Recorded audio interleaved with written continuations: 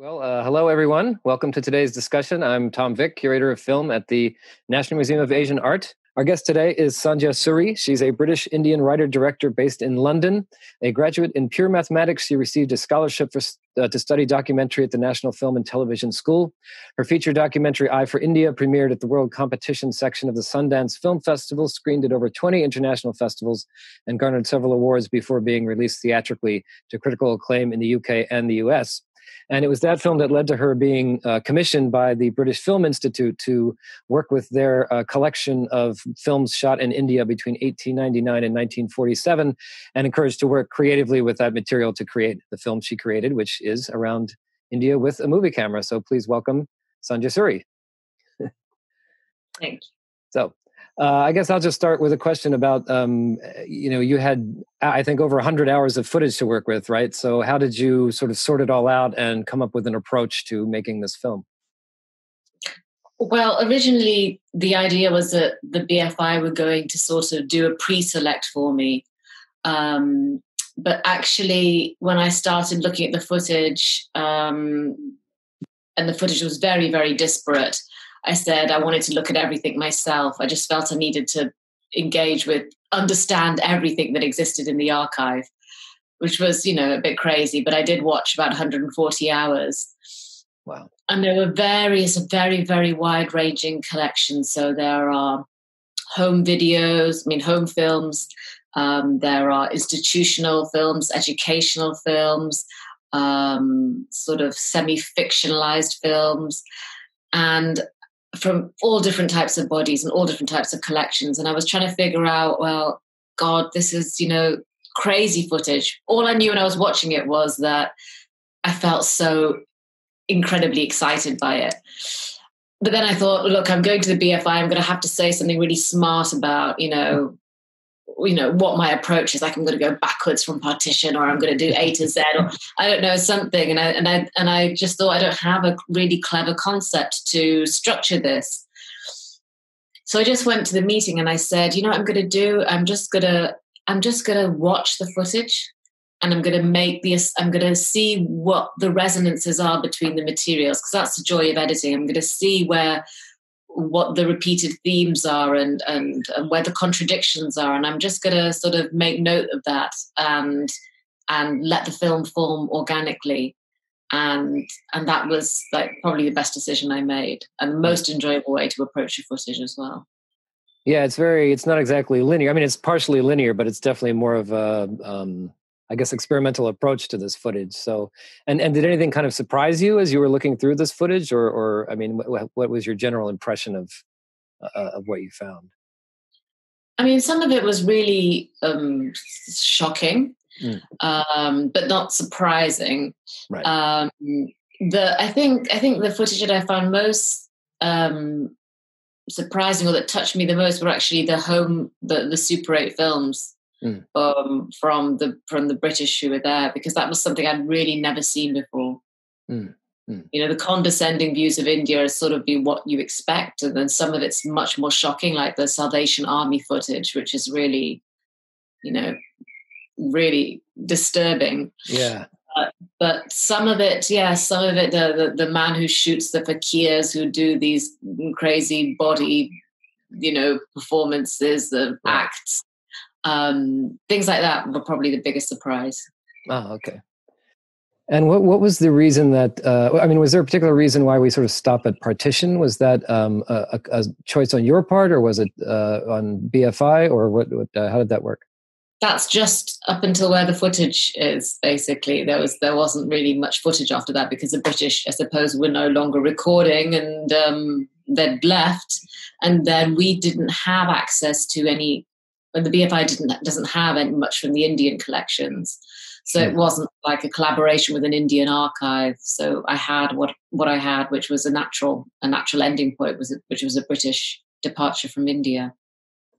I see, and um, yeah, I mean, and it's interesting how you kind of balance. I mean, obviously there was this you know colonialist attitude, and a lot of the the footage is kind of you know exoticizing things, and but I think you kind of managed to balance out and not make too kind of strong a statement about that. I think it really is a is a. So you're conscious of that as a decision that you didn't want to just make a, a film about how terrible the British were, uh, you know, as colonial uh, uh, leaders of the country. I mean, how did you approach that issue without kind of taking it too too far? I guess. Well, I mean, I think that's that's pretty evident anyway, so there's no need to work on that in the film. You know, right. that's that's not really something I would I would make as a statement. But I think for me, it was about um, it was a lot about the evolving relationship between the British and the Indian. So you know, there were certain th- themes that remained. So there was the for example, the constant fascination and romanticization of the of the Maharajas in particular that started from when they arrived and continued until when they left. You know, they're just so right. so in love with the with the image of the Maharaja and that, that romance of it. But there was a big shift from you know the beginning where a lot of the films were about sort of pomp and ceremony and authority and and emphasizing that status to to sort of exploring and conquering and moving around India and and and observing the Indians to then later a sort of a more nuanced relationship begins to mm. develop, especially as we approach the Second World War, and Indians are you know enlisted to fight, and the idea of partition becomes something and then you know then i even at the end of the film reverse that gaze and have the indians the bbc commenting on on the british and how they live. Mm-hmm. and then towards the very end of the film you know i actually just i think it's a penultimate shot as of a of the indians indians and and and englishmen sharing a meal together. And for me that was really important to to show that the relationship was was deeply complex between mm. ruler and ruled. It's not it's not a simple relationship. But at the same time, I mean, I think the very act of the BFI choosing a British Asian filmmaker to come and review this archive is in itself, you know, deeply political. And and the whole time the fact that i am remaking meaning of these films which have very different intentions is is is what's interesting. You yeah. know and radical actually really. Yeah yeah that is. So so were you the first filmmaker approach to to do this to kind of like go into the archive and create something that wouldn't be a straightforward documentary or is this something that they do no, they do. Sometimes they sort of headhunt a few particular people depending on what the archive is. Mm-hmm. Um, I think they've got something that they're doing now with their Japan collection at the minute. Right. I don't know um, exactly what, but yeah, they've done they've done this a few times. Okay. And uh, the, the, footage, for some reason, that uh, seems to strike a lot of people, including me, is very interesting. Is this this uh, kerosene can factory documentary, which for some reason is uh, kind of mesmerizing. So I mean, uh, so and and you you definitely kind of emphasize it. So I was wondering if you could talk about more about that film. It was and it's one of the only Indian filmmakers' work, right? Exactly. I mean, and yeah. a great Indian, a great Indian yeah. filmmaker. And I think for me, what I love about it is not only is it really beautiful um, and done with so much craft and so much skill. Um, but I love the fact that everything is so exoticized and and then and then the Indian comes in and he just makes something so beautiful just about tins. right. So we need to put that in the middle of, you know, the, the temples and the Hindu gods and, you know, all this yeah. all this gaze of the the colonials um, to this to this really sort of matter of fact but deeply inherently poetic film about tins. Yeah. I'm glad. I'm glad you responded to that. I'm not sure everybody's going to love this. Yeah, I, yeah, there's something about it that really, I don't know, it just is, sort of resonates. And I also noticed in a lot of the press coverage, people kind of point that out too. I guess it is because it is so different from all of this other sort of British film stuff that emphasizes uh, their superiority or the exoticism of the country they're in. And here is this, you know, very unique footage of this, you know, seemingly kind of boring factory, but it really isn't. It's really kind of, you know, like you said, well crafted and, and beautifully done. So maybe if you, could talk about, as I mentioned in the beginning, you were um, uh, brought into this project because of your first film, "I from India," which you constructed, uh, also have found footage, but from films that your father made, uh, home movies, when the family moved to England. So I wonder if you could talk a little bit about the relationship between these two projects. One obviously very personal, one kind of taking on this huge chunk of history. Uh, what was it like working in those two different modes? Well, I for India was a film that was made, like you said, from footage that my father and my family made. Um, but what was particular about that film was that basically when my father had arrived in England in the 60s, he decided to document his life here. Um, but it, it was mainly also about a mode of communication. So he decided that, you know, the phone was really bad and the telegrams were terrible and letters took too long. So he bought, you know, two sets of film equipment and sent one to India and kept the other in England. And we communicated through films, film letters for 40 years. So. I mean, what was interesting about that film is that, like any sort of home archive, is that you have, you know, a real strong body of of of films which has its own narrative, which is quite clear. Mm-hmm. Um, you know, it might be very difficult to choose, and and and there is a craft to how you form that. But um, you know, there are characters. There are characters, and there's a storyline. Whereas in the around India footage, because it was so disparate, it was about it was just about being a lot more playful and a bit more fluid, and leaving the audience some space to actually themselves want to go and you know make connections or you know, leaving more space for the audience, I feel, rather than trying to, you know, push a sort of emotion, even though I hope there is, I hope there is an emotional arc at some level to, to around India. Mm, yeah, I mean, I think there definitely, definitely is. Yeah. Oh, we're starting to get some questions. So, um, if you, if you'd like, I can just read them to you, so you don't have to divide your attention. Yeah. But, um, yeah. Uh, first question: It was a great film, very disturbing and compelling in equal measure. Uh, can you talk about the decision to now use captions identifying the locate, no, not use captions identifying the locations or subjects in any given clip? Ah, um, to be honest, that wasn't that wasn't I said that wasn't really a, a conscious decision.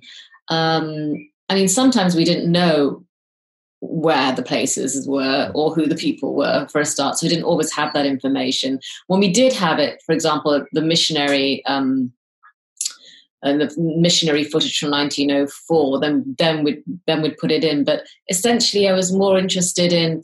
Um, and the BFI, I think, were more interested in communicating, you know, certain facts about the archive. For example, that that really stunning footage at the beginning of are which are which are stenciled, which are stenciled in color.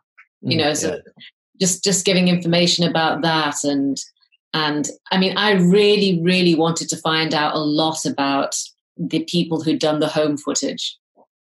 You know, when they died and they were and who remained and you know, but it was just incredibly difficult and there weren't the resources to really dig into those stories and find out. You know, sometimes people just leave collections with the BFI with a little note and they don't know anymore. They just have a load of, you know, a load of oh. films and that's it. Oh, wow. That's interesting. Yeah. Uh, and the next question, I think uh, you can probably answer very easily. Who got the Benares location wrong? Was it miscatalogued for 100 plus years?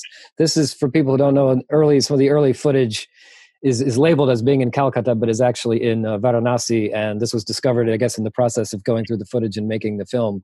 Um, and it was not, I guess, uh, mis uh, cataloged by the archive, but by the company that made it. Am I correct? Yeah, by the company that made it, the Warwick Trading Company. Yeah, exactly. Yeah. So that, that was known for quite a while. Yeah, yeah, but only discovered uh, in the process of making the film. Well, maybe could you talk a little bit about how you structured it in terms of the time frame like you you it's basically linear but you do skip around a bit so what made you decide to not kind of like go 1899 to 1947 what what made you sort of make it more imp- impressionist i guess in that way well i i i do it is roughly chronological like you right. said but some of it was just you know just making a so just making the associations with, with, with things which you know work the best so. So you know, having the having the missionary footage, but then you know, very shortly after having having this incredibly exotic film about from Jack Cardiff about you know Hinduism and the temples and right. you know the strange the Hindu, and to show that at the same time they're converting, they're they're you know there's just this con- constant contradiction. You know, they're, they're equally fascinated. Mm. So it was about a lot of it was about highlighting those contradictions. So mm. that's how mm. I sort of looked at the footage.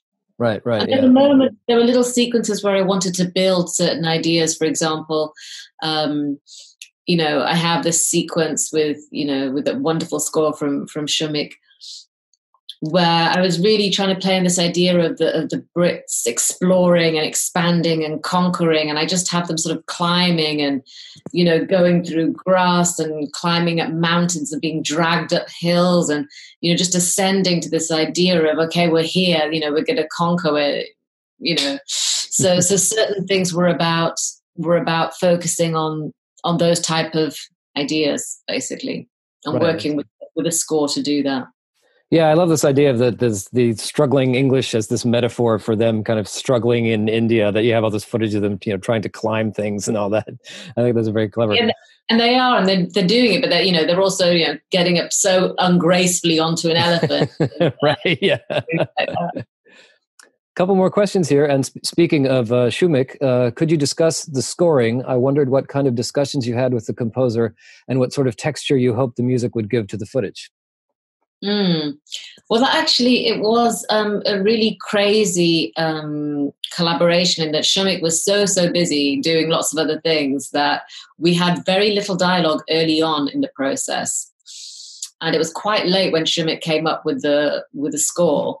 Um, and at that stage, and I had sort of expressed to him certain idea. I mean, he'd I'd waited for him first to come. You know, he'd watched the footage and he said, "Well, what I feel I need to do is."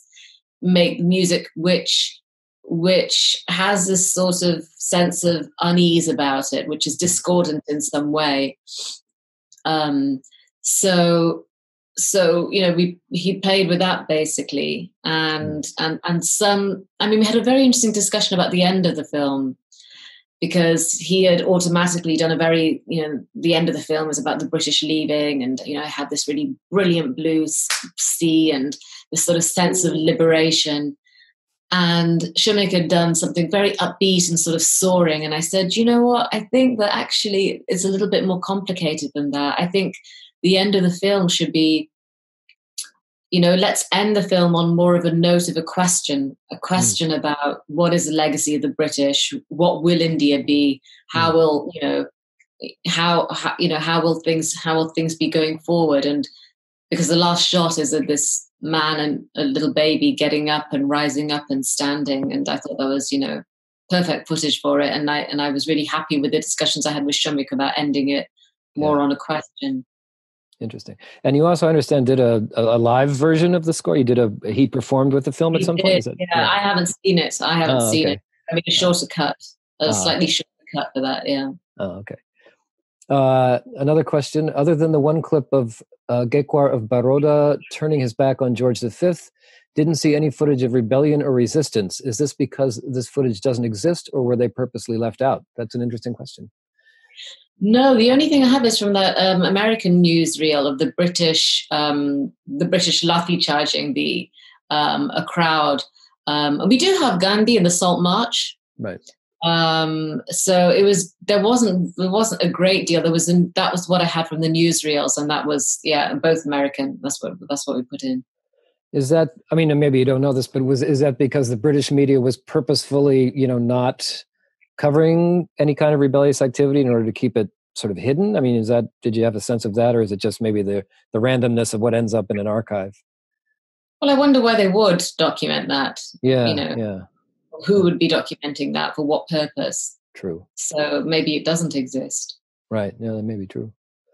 Uh, another question: um, Have you ever seen the French, possibly French, documentary shown in art film houses in the '60s called Phantom India? Uh, at the time, I found oh, it, yeah, yeah, long yeah. time ago. Ah, okay. And the the person says at the time I found it disorienting to my Midwestern Western mind. so, what are your thoughts on Phantom India? oh, I really can't remember. It was so long ago. yeah. Ah, okay. Sorry. that's one I need Sorry. to track down as well. I should, I should, but that's that's sort of you know back at film school. I remember watching that, and right. I've got lockdown memory mush right now, probably. as as we all do. uh, do you want to talk about other projects that you're well, hopefully working on, or maybe working on, or have done since this uh, this last film? Yeah, well, um, I basically made a slight shift to do towards fiction to hmm. try and there were some stories I wanted to tell that I just found documentary wasn't wasn't the right vehicle for. So I wrote a feature script that I um I got onto the Sundance Labs with, which was brilliant. Mm. And um, and I did a sh- my first short um, fiction uh, two years ago in India. At the same time, I was doing around India with a movie camera. I did a I did it my first short fiction, which is called The Field, um, which was also shot in India. Ah, okay. Uh, another question, uh, small question. Do you know why the Salvation Army asked the Indian woman to remove her jewelry? It was such painful footage. That was that is some of the footage that really does stand out. That that sequence. So, but yeah, why was the Salvation Army doing this? Well, it was the evangelical, you know, that mission. That's that's that's what they did. And hmm. and and I think what's interesting about that footage, along with other footage in it, is that obviously this is all a fiction. Mm-hmm. You know, I mean, I'm not sure they would make women take off their. They probably would do, but not in that theatrical fashion in which it's done for the film. So I find it sort of interesting to think about. You know, I mean, some you know some of the footage is documentary, but some of the footage is so staged. I often wondered throughout making this film about what were they telling what were they telling this woman you know about why that you know why they were shooting this and mm-hmm. what it was for and you know what does she what does she understand and some you know some of the other footage when they shot that lion and tiger fight for example you know they say such horrible things about them uh, the men who help with the with the with the hunting and and yet they you know they're standing in front of camera and they they're smiling so innocently and the intention is so disturbing behind what the filmmaker want, wants to do. So for me as a documentary maker, watching that, um, even the footage that Jack Cardiff shot of of the dancing girls uh, accompanying the Maharaja on the dusty Indian road, I'm thinking that can't be a, you know, that can't be a real thing. right. You know, who, who sets this up in what way, and you know what's told. You know, we want to do this. I mean, I just wondered how many questions were asked by by the people who were filmed. Probably not many. You know. Right. Yeah. Probably not. Yeah.